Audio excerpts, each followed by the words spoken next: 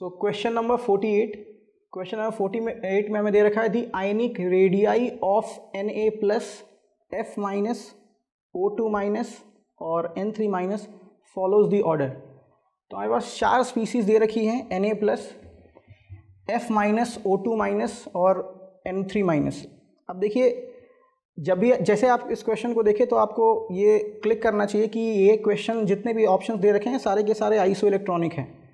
Iso electronic species क्या होते हैं फिर? तो आइसो इलेक्ट्रॉनिक स्पीसीज़ जो हैं वो ऐसे स्पीसीज़ होते हैं जिनमें इलेक्ट्रॉन्स की जो संख्या है वो सेम होती है। तो इस केस में दी आ, सभी में इलेक्ट्रॉन्स का जो नंबर है वो टेन है।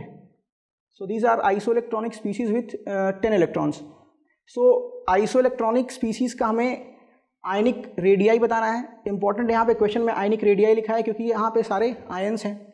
तो वो हम कैसे बताएँगे? अगर आपको पता हो size of iso electronic species size of iso electronic species जो होती है हमारी, वो इस बात पे इन्वर्सली प्रोपोर्शनल होती है कि अगर उसका न्यूक्लियर चार्ज ज़्यादा है is inversely proportional to the nuclear charge nuclear charge कहने का मतलब कि जिसमें न्यूक्लियर चार्ज ज़्यादा होगा, जिसका एटॉमिक नंबर ज़्यादा होगा, क्योंकि इलेक्ट्रॉन की का नंबर सेम है उस वजह से जो न्यूक्लियस पे जो कमांड होगा आउटर इलेक्ट्रॉन्स पे, वो काफ़ी मज़बूत होगा इन केस ऑफ़ जिसमें सबसे ज़्यादा नंबर ऑफ़ प्रोटॉन्स हैं।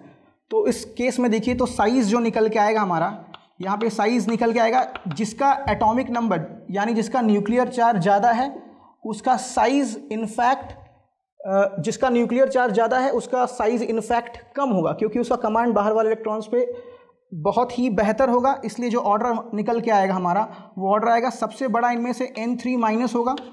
एन थ्री माइनस के बाद ओ टू माइनस क्योंकि इसमें एटॉमिक नंबर इसका सेवन है। इसमें एटॉमिक नंबर इसका एट है ऑक्सीजन का। उसके बाद हमारा एफ़ माइनस उसके बाद हमारा N A plus so the option will be C